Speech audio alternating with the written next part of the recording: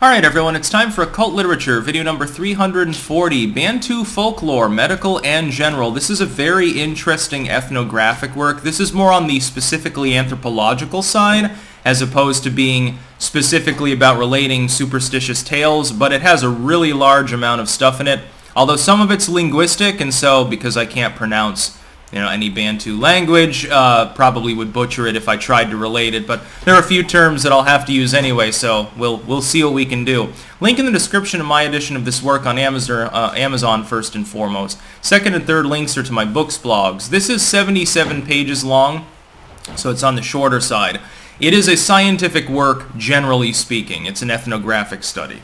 And what it seeks to do is to talk about the different types of doctors, the different categories, um, both what we would consider on the more spiritual end, like like superstitious herb doctors um, and and so forth. There there are apparently whistling doctors that think that they can hear whistling sounds coming through like cracks in trees and stuff, and they attempt to interpret this for medical purposes.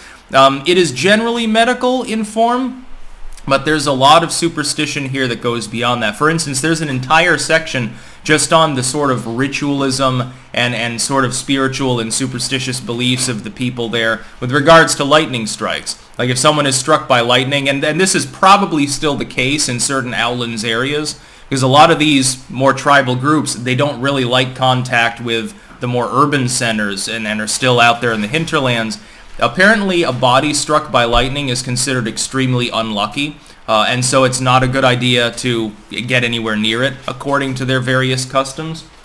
And then you have a huge laundry list, like half an entire materia medica of different herbs. Now, it gives the uh, native pronunciation as well as the scientific name, generally, uh, of these various cures, and some of them are compounded. It's more than one, one actual ingredient, but a lot of them are herbals, basically herbal simples in this time period, I can't I can't imagine why the author actually applauds this, and, and he does. This is less uh, less uh, ethnocentric than most American and European works on these sorts of subjects from this time period.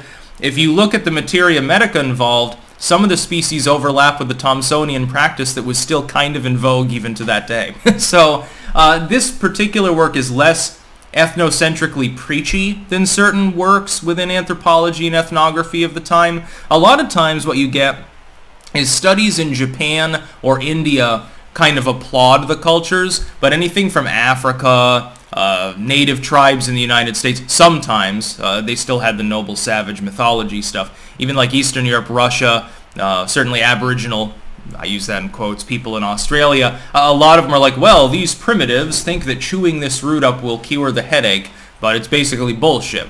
Here, though, there's actually a couple of asides where it is noted that there is a chemical action of some of the species involved, and about half of the work is specifically herbal.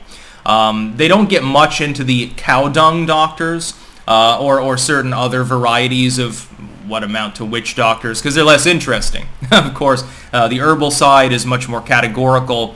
Uh, you have surgical uh, practices as well.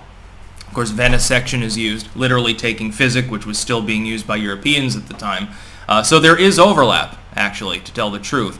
Uh, it's interesting to look at the uh, the one part that does definitely sort of shit on the, the, tribes that are being studied is the last section with regards to things involving like marriage, childbirth, puberty, and stuff. Some of those rituals, because uh, it talks about like like orgies and things. Basically, in in certain tribal groups within sub-Saharan Africa, the concept of sexual contact, especially among younger people, you know, the, the, warriors and shit, is not frowned upon unless it, it involves full copulation and reproduction. And in some cases, even that is basically poo-pooed away.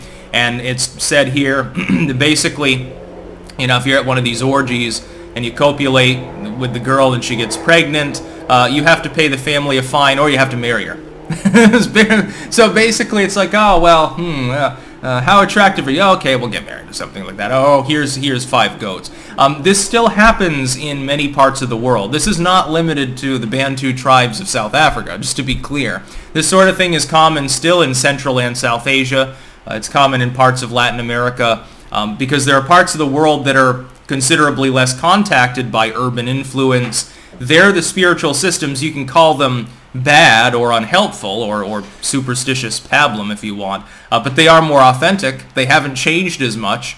Uh, of course, that's uh, rapidly being altered by the cell phone revolution at this point. Smartphones are starting to destroy tribal cultures all over the world, which is, I think, uh, slightly amusing and will be anthropologically studied in 20 or 30 years quite a bit. But it's overall, it's a very good work. Highly recommended. If you like anything about folklore, you'll love it.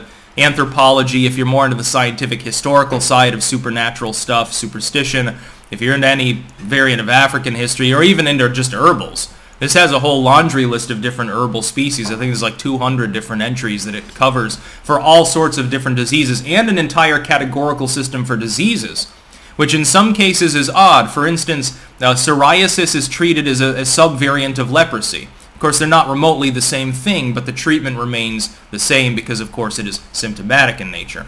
Now, again, link in the description of my edition of this work on Amazon. Second and third links are to my books blogs. Again, highly recommended. It's, it's one of the better works that I've edited recently. That's about all. Peace out.